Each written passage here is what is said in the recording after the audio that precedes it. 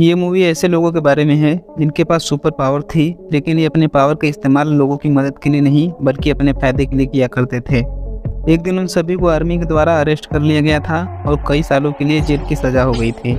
लेकिन मिंडा नाम की एक इंटेलिजेंट ऑफिसर जो कि अमेरिकन गवर्नमेंट के लिए काम किया करती थी, उसने उन सभी को एक ऑफ़र दिया, और कहा कि अगर तुम सब मेरा कहना मानोगे तो तुम्हारी सज़ा दस साल तक की माफ़ कर दी जाएगी। उनमें से कुछ लोग तो मना कर देते हैं, लेकिन ज़्यादातर लोग मान जाते हैं। लेकिन मना करने वाले लोगों के पास कोई चॉइस नहीं होती, इसलिए मिंडा उन्हें मेंटली टॉर्चर करके अपने टीम में शामिल कर लेती है। वो दस लोगों का टीम बनाती है और टीम का नाम रखती है टास्क फोर्स इस टीम में शामिल थे रिक फ्लैग जो कि एक मिलिट्री ऑफिसर था हार्ली क्वीन जो कि एक मनोवैज्ञानिक थे कैप्टन वोरैंग जो अपने वोरैंग को एकमात्र हथियार की तरह यूज़ करता था सेवेंटी जिसके निशाने से कोई भी बच नहीं सकता था। विजिल नाम का एक अजीब सा जानवर टिडके नाम का एक बच्चा, जिसके पास सुपर पावर थी कि वो अपने बॉडी के किसी भी पार्ट को अलग अलग कर सकता था। ब्लैक गार्ड और जेवलिन थ्रो जो अपने दुश्मनों को एक भाले की सहायता से मारते थे, क्योंकि इतने खतरनाक क्रिमिनल को खुला छोड़ना काफ़ी रिस्की था, इसलिए मिंडा ने उन सभी के सिर के अंदर एक बम फिट कर दिया था, ताकि कोई भी भागने की कोशिश करे या मिशन को छोड़ के जाए तो मिंडा उसे आसानी से मार सके। एमिंडा उनको मिशन के बारे में बताती है और कहती है कि कार्टोमोन्टिस नाम के एक आइसलैंड पर फरेला फैमिली पिछले कई सालों से राज किया करती है। लेकिन पिछले हफ़्ते ही सिल्वी लोना नाम के एक आदमी ने वहाँ की मिलिट्री और अपने चालबाजों की सहायता से उस आइसलैंड पर कब्जा कर लिया है और पूरी हरेला फैमिली को बीच सड़क पर फांसी पर लटका दिया है।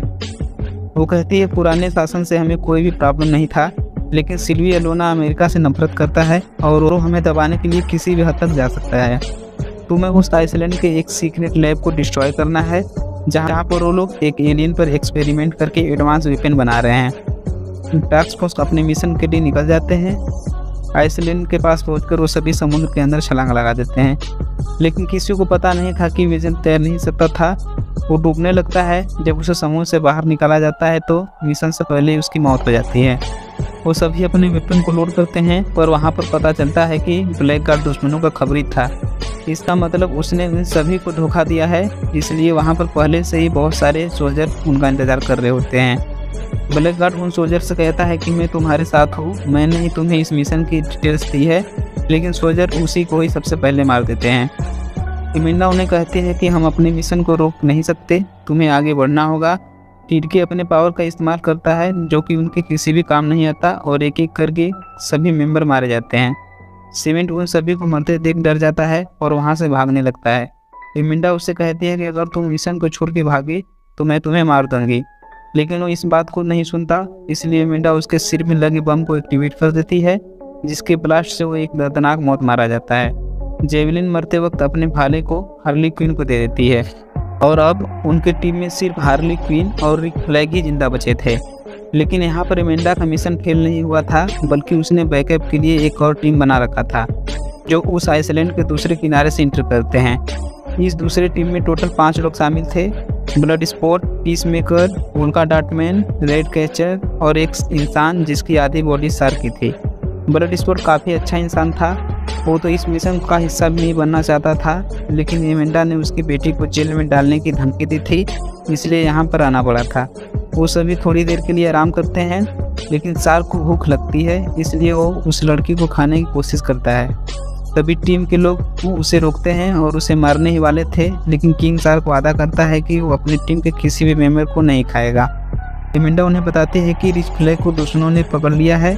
उसका ज़िंदा रहना मिशन के लिए बहुत ज़रूरी है, इसलिए तुम्हें उसे बचाना होगा। वो दुश्मन के कैम में जाते हैं और सार्क सभी को खाने लगता है।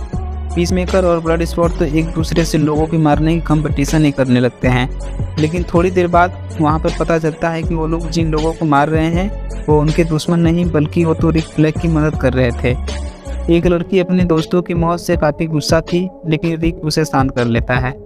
दूसरी तरफ़ लैब के अंदर थिंकर नाम का एक साइंटिस्ट सिल्वे लोना को स्टारफिश एलियन के बारे में बताता है, जिसके शरीर से निकलने वाले छोटे छोटे स्टारफिश ह्यूमन के ब्रेन को कंट्रोल कर सकते हैं। अर्ली क्वीन को उन लोगों ने बंदी बना लिया था। उसे नए कपड़े दिए जाते हैं और उसे सजाकर सिल्विया लोना के सामने पेश किया जाता है। ऐसा इसलिए किया जा रहा था क्योंकि हार्ली क्वीन भी अमेरिका से नफरत करती थी। सिल्वी लोना हार्नी से कहता है कि वो उससे शादी करना चाहता है। और अब जो वेपन हमारे पास है, हम उससे पूरी अमेरिका पर राज करेंगे। हार्ली को उसकी बातों से कोई फ़र्क नहीं पड़ता, पर जब वो कहता है कि इस जंग में औरतें, बूढ़े बच्चे सभी मारे जाएँगे तो हार्ली उसे शूट कर देती है, क्योंकि हार्ली इनोसेंट लोगों की जान नहीं लेती। गन की आवाज़ सुनकर मिलिट्री वहाँ आ जाती है और हार्ली क्विन को फिर से अरेस्ट कर लेती है। दूसरी तरफ़ टास्क फोर्स आगे बढ़ रहे होते हैं पीस मेकर डाटमैन से थोड़ी दूरी बनाने को कहता है, क्योंकि बार बार उसकी बॉडी पर कलरफुल डाट आ जाते थे, जो कि बहुत ही खतरनाक थे। डाटमैन उन्हें बताता है कि उसकी मदर ने उन सभी को सुपर हीरो बनाने के लिए उनके ऊपर एक्सपेरिमेंट किया था, लेकिन उसके अंदर तो ये वायरस सुपर पावर बन गया, लेकिन इसकी वजह से इसके भाइयों की जान चली गई। इसके आगे का वीडियो का लिंक हमारे डिस्क्रिप्शन बॉक्स में है, वहाँ से आप देख सकते हैं। अगर वीडियो पसंद आए तो इसे लाइक शेयर और चैनल को सब्सक्राइब करना ना भूलें।